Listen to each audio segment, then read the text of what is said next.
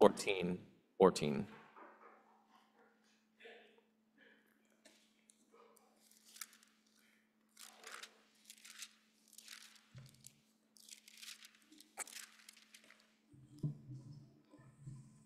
I invite you to stand as we read from God's word.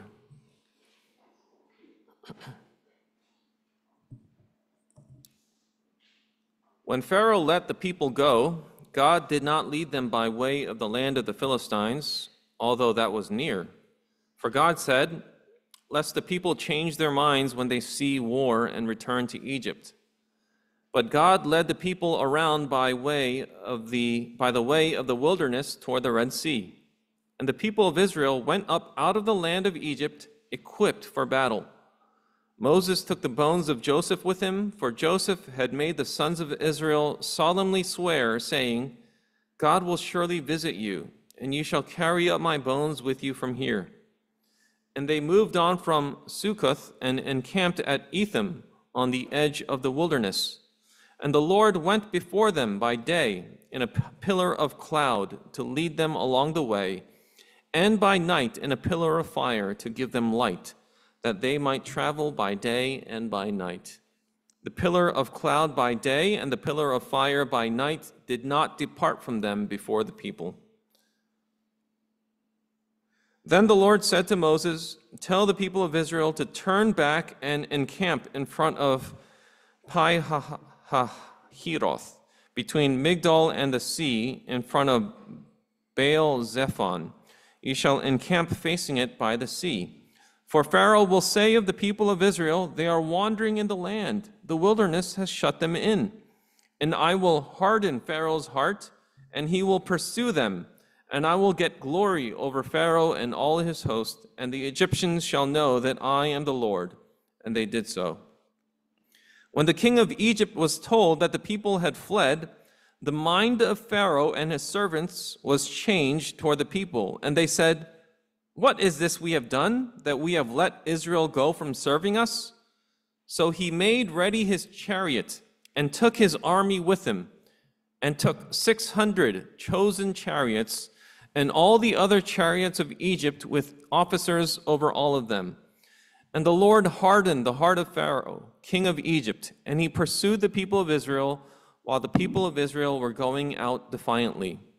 The Egyptians pursued them all Pharaoh's horses and chariots and his horsemen and his army and overtook them encamped at the sea by Pi Hahiroth in front of Baal, Baal Zephon. When Pharaoh drew near, the people of Israel lifted up their eyes, and behold, the Egyptians were marching after them, and they feared greatly. And the people of Israel cried out to the Lord. They said to Moses, is it because there are no graves in Egypt that you have taken us away to die in the wilderness? What have you done to, in bringing us out of Egypt? Is not this that we said to you, what we said to you in Egypt? Leave us alone that we may serve the Egyptians. For it would have been better for us to serve the Egyptians than to die in the wilderness. And Moses said to the people, Fear not, stand firm and see the salvation of the Lord, which he will work for you today. For the Egyptians whom you see today, you shall never see again. The Lord will fight for you, and you have only to be silent. This is the word of the Lord. Thanks be to God. Please be seated.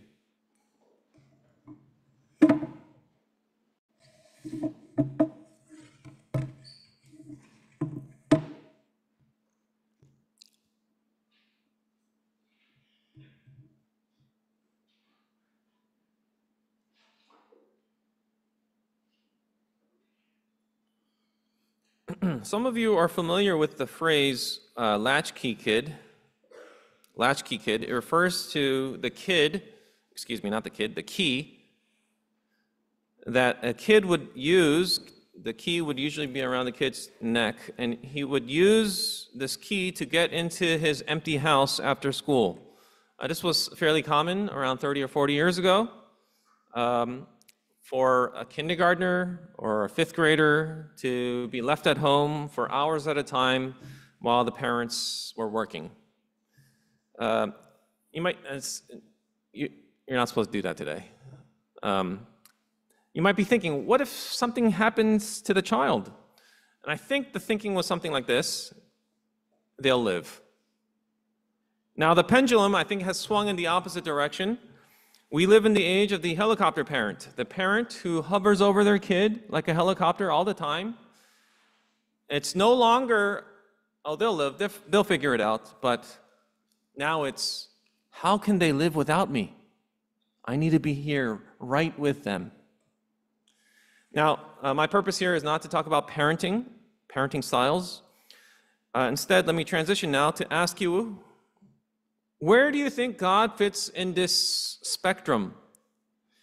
Is he on this side of the spectrum where he's basically distant and he allows us to make our own decisions? And then he only swoops in when you really need him for those emergencies? Or is he on the other side? Is he constantly hovering over you, managing your every move like a helicopter parent in order to ensure that you are safe? Uh, to frame it another way, what does it mean that God leads me? Does it mean that I'm basically on my own until I realize that I actually need Him and then I cry out to Him for help and then He will come lead me? Is that when He comes and lead me, leads me when I cry out to Him, please help me? Or on the flip side, does it mean that God is watching over me like a shepherd in order that I shall not want? Helicopter parents you might say, don't compare with our helicopter God. And all I need to do is trust Him, and I will be safe from harm's way. Because surely our God does lead us, He does lead His people. That is what the Bible says. And it's in the foreground of our passage today. But what does that mean exactly? That the Lord leads us. And how are we called to live in view of his leading? Our passage here is this sort of transition, this transition between the Exodus and to the Red Sea. You know, I don't know if you guys are familiar with what happens at the Red Sea, but we might say this is the highlight of the Exodus. I already, I know I said that the 10th plague was the highlight. Well, it was one of the highlights, but now we're coming to even a greater highlight when, when Israel crosses the Red Sea. And we're, and we're at this kind of transition zone between those two scenes. And, and we see, however, in this transition zone between the 10th plague and the Red Sea, what happens at the Red Sea is Israel being led by the Lord.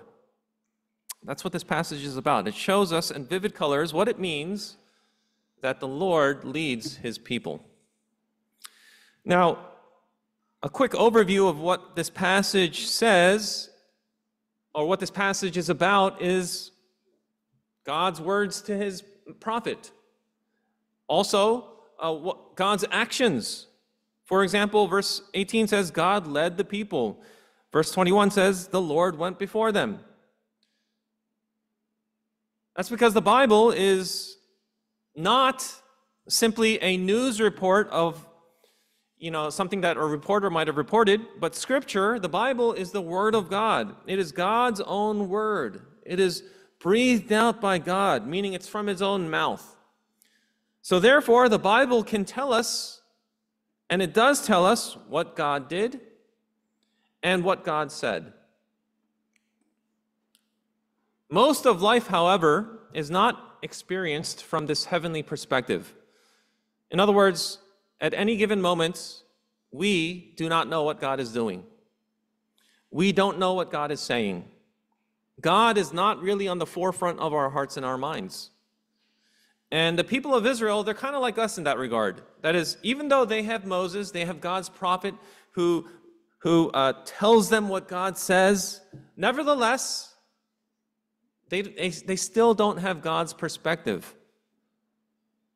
For the people of Israel, their perspective is still very earthly, it's still very human. They only know what they know, kind of like us. So, before we consider the heavenly perspective of what God was doing, God was saying, and God was and how God was leading, that's really the main part of this passage. First, we're going to consider these events through the perspective of the average Israelite who wasn't really keyed into what God was up to. So let's review a little bit. The Israelites have just left Egypt. Uh, they were gathered in this town, in this place called Ramses, and I guess that was the launching off point to wherever. And, and recall, why did they leave uh, Egypt? Well, Pharaoh had been resisting Moses. Pharaoh had been resisting the word of Yahweh, which is, let my people go, over and over again. But when the 10th plague comes around and the firstborn of Egypt are all killed, Pharaoh and the rest of his nation, they're all in agreement, finally. The people of Israel have got to go. Please go now. So, in one day, with no time to pack, all the people of Israel, they're driven out of Egypt. And just like that, their lives are completely changed. They used to be slaves, going back generations. Their father was a slave, their grandfather was a slave, but now they're free. They were, they've been living in Egypt for 400 years, but now Egypt is in the rear view, rear, rear view mirror. It's behind them. Imagine what, what that must have felt like to have witnessed God's mighty works, to be a part of this great multitude who leaves Egypt. Our passage doesn't say this, but I think we can say this. The people of Israel experienced the greatest reversal in history. Their enslaver, who happened to be the most powerful nation in the world, has been brought to its knees. They've been forced to submit by the power of God. And on their way out, the people of Israel, the formerly enslaved, they've all of a sudden become wealthy. Remember in the previous uh, chapters how it says that people of Israel plundered the Egyptians. They asked them for their jewelry and for their fine clothing, and they gave them whatever they asked for. Now, as exhilarating this victory and redemption must have been for them, their journey has really only just begun. Thousands and thousands of men, women, children, and livestock on the move. And their first stop, recorded back in chapter 12, was a place called Sukkoth. But instead of heading straight for Canaan, uh, Egypt is adjacent to the Mediterranean Sea, and then you know Canaan is also adjacent to the Mediterranean Sea. And so the, the quickest way to Canaan is to follow the Mediterranean Sea up, up the coast. Instead of heading that way, because after all, that was the land that God had promised uh, their forefathers, Abraham, Isaac, and Jacob, that's the land I'm going to give to you and your people. Verse 18 here says that they went around by the way of the wilderness toward the Red Sea. They went in the opposite direction. They didn't take the direct road, they went in the opposite way. Uh, more specifically, verse 12 says they moved and encamped at a second lo- location, Etham, on the edge of the wilderness. Now, these places don't exist anymore, so we don't know exactly where they are on a map, but this much is clear. It says they were on the edge of the wilderness. They haven't yet entered the wilderness. They haven't fully left Egypt yet. They're, they're sort of traveling along the border of Egypt, not going in the right direction, but in a different direction along the border of the wilderness. And this pattern continues when they move to a third stop. And this time the Lord tells Moses to tell the people to turn back. Right? They're not making progress. It means uh, they're kind of turning backwards. They're doing a U turn and they're encamping in front of Pi Hahiroth, between Migdol and the sea, in front of Baal Zephon. They're, they're to turn back from heading out into the wilderness. Instead, they go and set up camp at a different location along the Egyptian border. this time in front of the sea. Now, it's not likely that anyone pointed out to Moses, hey, we're going the wrong way. Um, Canaan, Moses, Canaan is in that direction. Why are we going here? Moses, are we lost? Um, it's not likely that anyone pointed it out to Moses, not because um, they didn't know what was going on, but our passage says that Yahweh was tangibly and visibly with them and guiding them. Verse 21 says, The Lord went before them by day in a pillar of cloud, and by night a pillar of fire to give them light, that they might travel by day and by night. The pillar of cloud, the pillar of fire did not depart from them, from before them, before the people. See, it'd be one thing for the prophet, God's prophet, to say, um, God says we got to go that way. But it's a whole other thing for there to be this miraculous pillar leading the way. By day, a pillar of cloud, and by night, a pillar of fire. And as awesome as this, this pillar was, it wasn't just some kind of thing guiding them. Our passage says Yahweh was in it, He was in the pillar. The cloud and the fire was the presence of God. What comfort this must have been. You know, faith, according to the Bible, according to Hebrews 11, is the assurance of things unseen. Faith is being sure of something that you do not see. Faith is about remembering God's works. It's about keeping in your head what God has done for you. But what about this? God is really making things easy for them. They can see that God is with them. They see the Lord guiding them. With their own two eyes, they see the supernatural power of God in this miraculous pillar. They even have, on top of that, Moses telling them what God says. Verse 2 Tell the people of Israel to turn back and encamp in front of Pi Hahiroth. And just as he's done in the 10 plagues, God tells them beforehand, before he even does it, he tells them what's going to happen. He says, Pharaoh's going to say of the people of Israel, they're wandering in the land, the wilderness has shut them in. And I will harden Pharaoh's heart. Remember that phrase? I will harden Pharaoh's heart, and he will pursue them and I will get glory over Pharaoh and all his host, and the Egyptians shall know that I am the Lord. Um, the people of Israel, they have this pillar with them, but they also have Moses telling them what God is about to do. The Egyptians, on the other hand, they don't have any of these advantages. That is, they don't know what Yahweh is up to. Furthermore, they've just been thoroughly defeated They've been on the wrong side of 10 straight plagues. They're probably still burying their firstborn uh, sons who, who've, been, who've been killed. And yet, their scouts keep reporting that the Israelites haven't left yet. They're still kind of wandering around the edge of the wilderness. Uh, the scouts report that they were first at Sukkoth. Okay, that makes sense. That's on the way out. But instead of launching out toward Canaan, uh, they kind of went down south. And they've been kind of wandering along the edge of the wilderness. And finally, Pharaoh is told they've set up camp right in front of the sea. And it's, a, it's as if something snaps in his brain.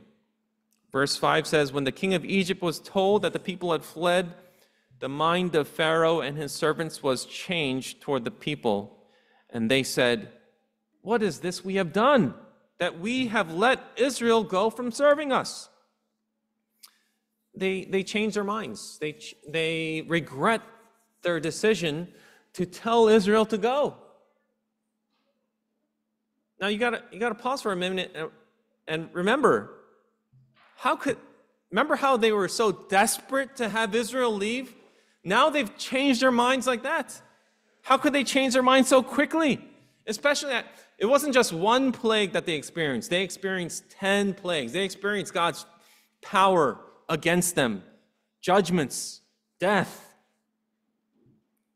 And they just kind of changed their minds. Well, just as we read moments ago, God said, I will harden Pharaoh's heart.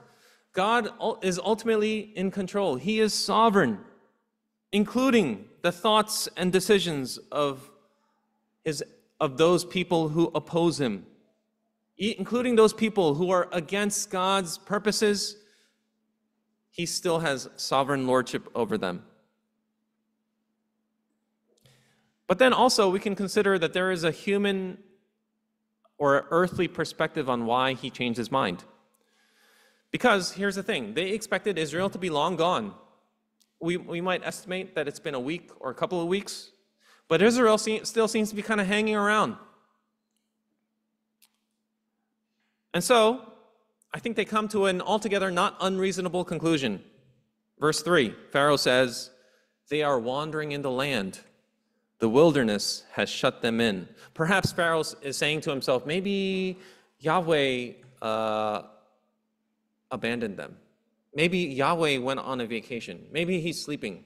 Maybe now's my, now's my chance uh, to go after Israel since Yahweh seems to be not with them.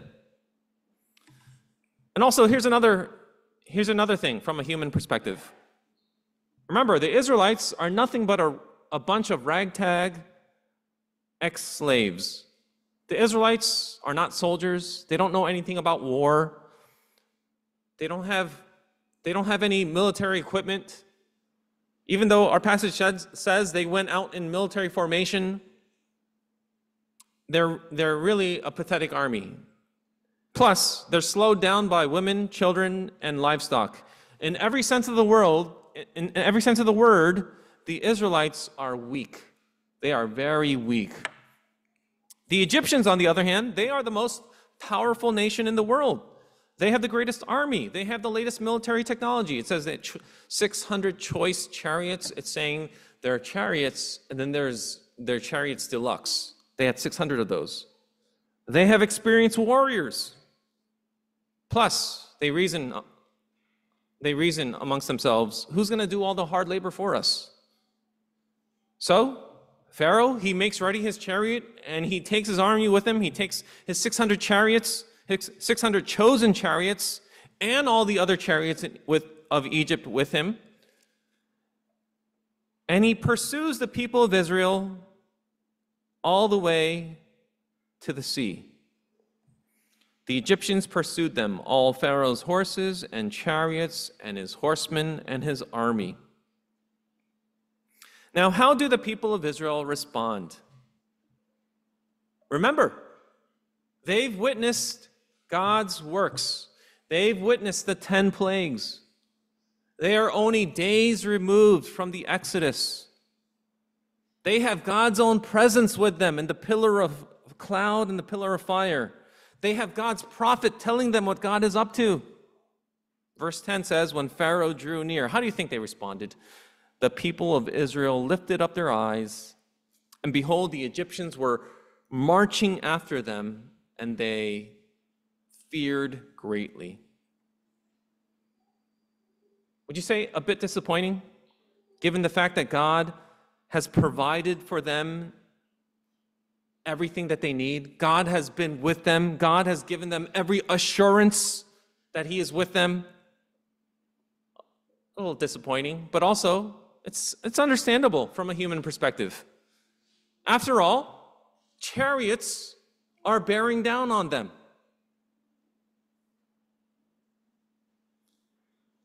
Do any of you see yourself in the Israelites? I know I do. Like Israel, we've been provided with every assurance, even better assurances than they had. We've had Jesus Christ, the Son of God and the Savior of sinners, preached to us. We've heard the word of truth that he was crucified, died, and was buried for our sin. We know that he did not remain in the grave, but he rose again, victorious over death and sin. He ascended to heaven and is seated at the Father's right hand. He has poured out his Holy Spirit upon the church. By faith, we have received salvation. We've received the gift of eternal life. We've been given the Holy Spirit who dwells within us. We have the Word of God by, by which we can know God's will and His purpose in the world. And if you are in Christ, you've had the waters of baptism wash your sins away, uniting you to Christ. You've taken His body and His blood and even been strengthened by partaking in His feast.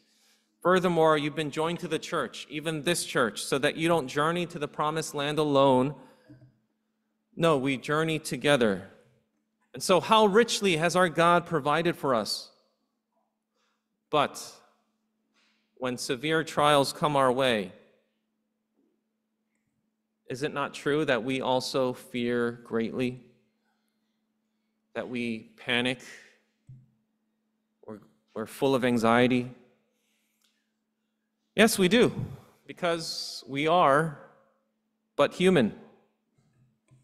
It's what happens next, however, that matters. Not only did they fear greatly, the, the passage continues, the people of Israel cried out to the Lord. Now, that's usually a good thing. When, when you are in that, in, in, in your moment of fear and anxiety, yes, cry out to the Lord. That's what you're supposed to do. But, however, with the Israelites, it's, uh, it's not exactly a cry. Their cry is not a prayer. It is not a plea for help. It's not, Help us, O God. Lord, bear your mighty arm against these, Israel, against these Egyptians. Lord, bring upon them an 11th plague. It's none of that. It's, this is what they say in verse 11. They say, Is it because there are no graves in Egypt that you have taken us away to die in the wilderness? Well, there's many graves in Egypt. There's, there's these giant pyramids, which are each uh, giant tombstones. It's a joke, it's, a, it's some sarcasm. What have you done in bringing us out of Egypt? Is not this what we said to you in Egypt? Leave us alone that we might serve the Egyptians. For it would be better for us to serve the Egyptians than to die in the wilderness. What did, what did the Israelites say in their cry? Are they crying out for help? No, they're complaining. They're accusing. They're misremembering the past. This did not happen. They did not say, Leave us alone that we might serve the Egyptians. They reject the great deliverance that they've just experienced. They say, It would have been better for us to serve the Egyptians. This salvation that we have, ugh. in their hearts, obviously, because they don't say it out loud, but in their hearts, they turn away from the Lord. They reject God. Now, if you're familiar with this passage at all, and, and also at the end of our passage, we know that God will save them anyway, even after those terrible words they say. Even after such despicable words and and we know that there are worse actions to follow even in this book of Exodus, God still saves them. Now, what's the lesson here? Does that mean it's okay to be faithless? It's okay to, to complain, to accuse, to misremember the past, to reject the great salvation that you have received from God, to turn away from God? since after all, he saves. I don't think that's the lesson. To use an illustration, imagine this is just an illustration, but I think it helps serve uh, my, my point here. Imagine that you are married to the most faithful, loyal, loving spouse ever. You got that in your mind? But you still get into conflicts because, because after all, uh, you're both human and, and uh, you know, conflicts are a part of marriage. And every time you get into a conflict, you say and you feel and you think the most despicable things. You say things like, I hate you. I wish we never married. I want to get a divorce. But even though you say those things, your spouse still receives you back every time and you're able to reconcile. Does that mean go right ahead? Keep saying those things. It doesn't matter how I respond to conflicts, since after all, my spouse forgives me and receives me back every time. I'll just keep saying those things. No, because it, for one, if you've really received such grace, such patient love, you're going to be changed by it. Because such grace, such love, such forgiveness changes us. Of course, the forgiveness and grace that we receive from God is divine and not merely human, so it's even greater. But there's a second reason it's not okay for us to keep saying these things, to keep saying such nasty things, and to and to keep responding to conflicts in this way, something's going to happen to you, which is that you're really going to believe it. you you will, if you repeat it enough, hate your loving spouse. You will regret marrying your spouse. You will get a divorce against, uh, uh against this faithful person. What I'm saying is, it's not okay to follow this example. Of course, the harsh reality is that the Israelites, uh, they are us. This passage holds up a mirror, and if any of us are thinking honestly, that is us. Because have any of you been through trials, troubles, sorrows? These are opportunities for faith that is, opportunities for us to take hold of Jesus, take hold of all his promises. But sadly, let's be honest, when we've gone through many times, we've gone through trials and sorrows and hardships. And instead of taking that opportunity to take hold of Jesus, what instead happened? Our lack of faith was clearly displayed. Right? Regrettable examples of our utter weakness, just like the Israelites. How many trials and hardships have you gone through in which you quickly turned away from God, turned away from your Savior, and like the Israelites, you shook your fist at Him? As much as trials often show us what we're made of, which is not much, God is not surprised. He's not surprised when we fall flat on our face. Psalm 103 14 says, He knows our frame, meaning He knows our weakness. He knows that we're prone to wander. He knows how little our faith is. God knows His people. That's why, back in uh, verse 17, the beginning of our passage, God doesn't take them the direct way to Canaan. For God said, lest the people change their minds when they see war and return to Egypt. He knew, God knew that as soon as the Israelites faced any hardship, any difficulty, they would not, you know, go to God and say, please help us. They would turn back around and go marching straight back to Pharaoh. Please take us back, Pharaoh. We want to serve you. And after all, that's what they say when, they, when they're faced with this trial. It would have been better for us to have stayed in Egypt and served Pharaoh. That's why Yahweh takes them on a different path. Notice what God's purpose is. His purpose is not to keep Israel safe, out of harm's way, in complete comfort. He is not a helicopter parent, in fact. Because to be pinned against the sea while a fleet of chariots are rushing down on top of you is not uh, safe. It's not comfortable. It's not out of harm's way. It's directly in harm's way. Rather, God's purpose is to keep and protect his people, not physically, but spiritually. That's his purpose. Because the worst thing for us is not danger, The worst thing for us is not discomfort or distress. The worst thing for God's people is to return to Egypt. That would be the worst thing for us. And we're so quick to want to do that. We want to come back under Pharaoh's domination.